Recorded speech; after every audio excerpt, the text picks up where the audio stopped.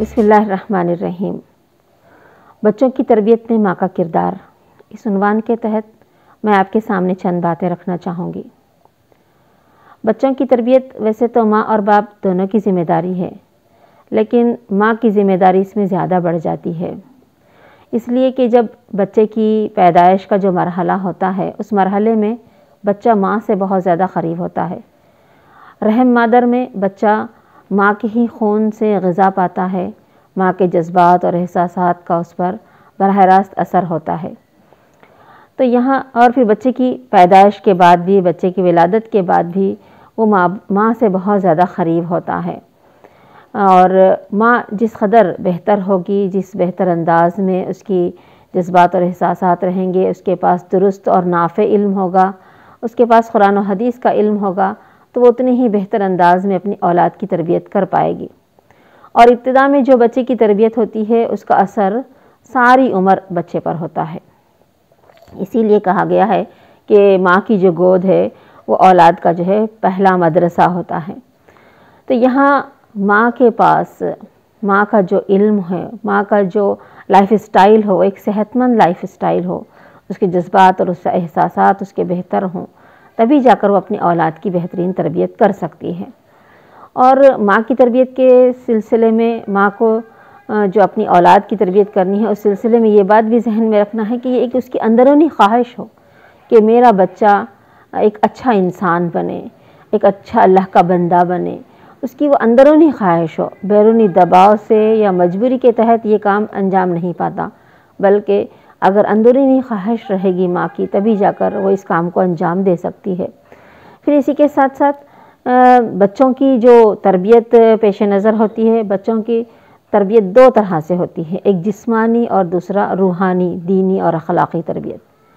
जिस्मानी तरबियत के सिलसिले में आजकल हम देखते हैं कि बहुत ज़्यादा एक पेरेंटिंग के जो असूल हैं ये बहुत ज़्यादा अहमियत के हामिल हो गए हैं। आज हमारे लिए ये एक आसानी है कि ऑनलाइन बहुत सारे इस तरह के पेरेंटिंग के सिलसिले में कोर्सेज हमारे सामने हैं।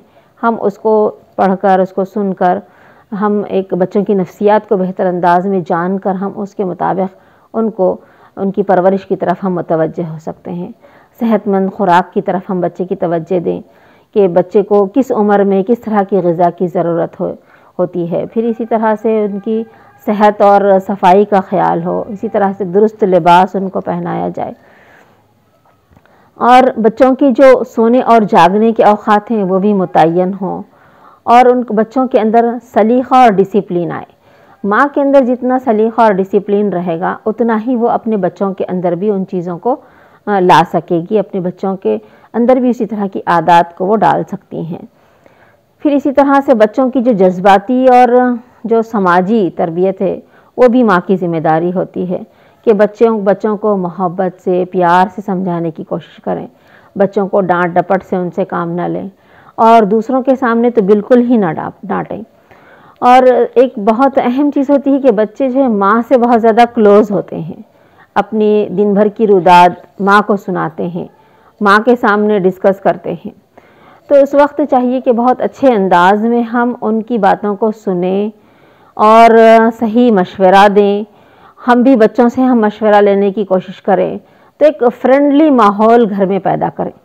तो माँ की बहुत बड़ी ज़िम्मेदारी होती है कि बच्चों के साथ इस तरह का माहौल हो के बच्चों को भी मशवरा दें, बच्चों से भी मशवरा लें, और उनके जो हालात हैं उस पर भी वो गुफ्तगु करते रहें। फिर इसी तरह आपस में जो ताल्लुक़ हैं वो बेहतर माँ के ताल्लुक़ जितने अच्छे होंगे, दीगर रिश्तेदारों के साथ, आपस में मिलजुल के लोगों के साथ उतना ही जो है बच्चे, बच्चा भी जो है बेहतर ताल्लुक़ अपने दोस्तों के साथ, अपने रिश्तेदारों के साथ जो है बनाने की वो कोशिश करेगा। तो माँ को देखकर बच्चा सीखता है। माँ और बाप दोनों को देखकर सीखता है, लेकिन ज़्यादा असर वो माँ का कबूल करता है। तो जिस तरह से माँ होगी, उसी तरह से बच्चे के अंदर भी वही क्वालिटीज़ आनी शुरू होंगी। तो इसलिए, इसके लिए माँ को अपनी आदत पर, अपने जज्बात पर, अपने एहसास पर पूरा तरह कंट्रोल रखते हुए डिसिप्लिन और पूरे सलीक़े के साथ अपनी ज़िंदगी को गुजारना होगा।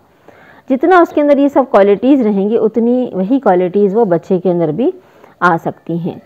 फिर इसी तरह से बच्चों की दीनी और अखलाक़ी नशो नुमा भी बहुत ज़रूरी है। हर बच्चा फितरत पर पैदा होता है। अल्लाह ताला इरशाद फरमाते हैं कि फ़ालहमहा फजूरहा व तखवाहा हमने इंसान के अंदर नेकी और बदी हमने दोनों चीज़ों को डाल दिया है। तो नेकी के रुझान को बढ़ाना और बदी की चीज़ों को कम करना, ये एक माँ की ज़िम्मेदारी होती है।